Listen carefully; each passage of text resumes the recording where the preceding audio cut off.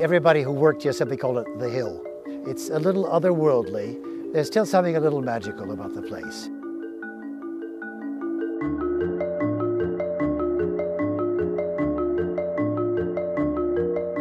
Deep in the Grunewald forest, about six miles from the center of Berlin, sits a curious artifact of the city's Cold War past.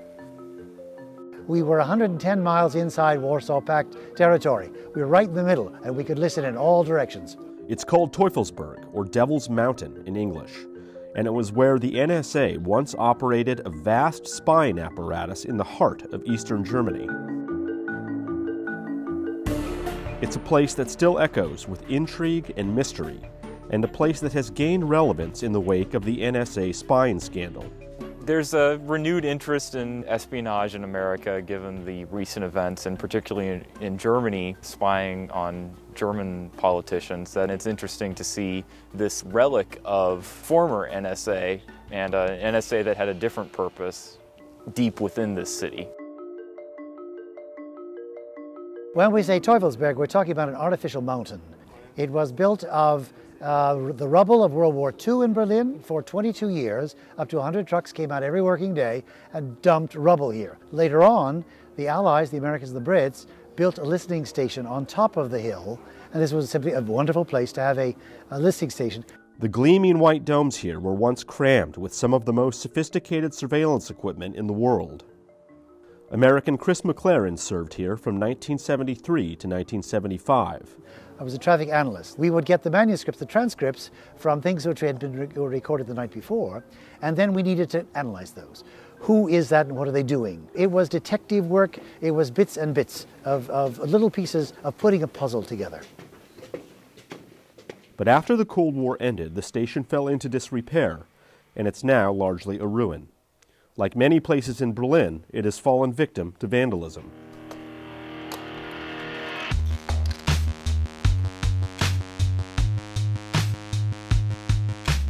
But two years ago, artists were invited by the installation's private owners to transform the empty concrete walls and gaping spaces into a gallery of graffiti.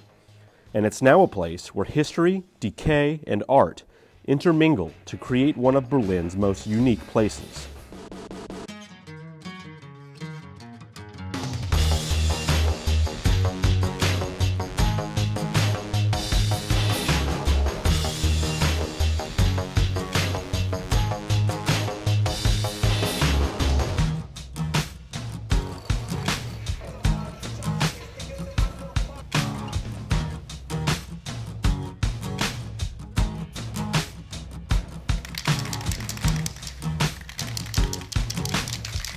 Well, for being somebody who needs an abandoned space with lots of walls to paint on, this place is pretty ideal.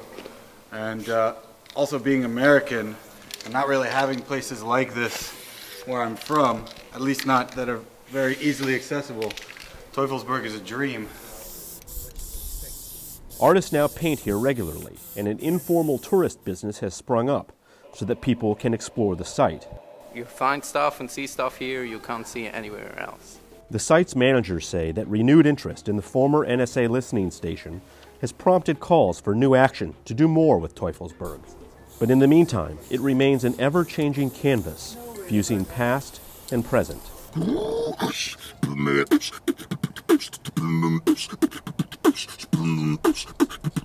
Human sound machine.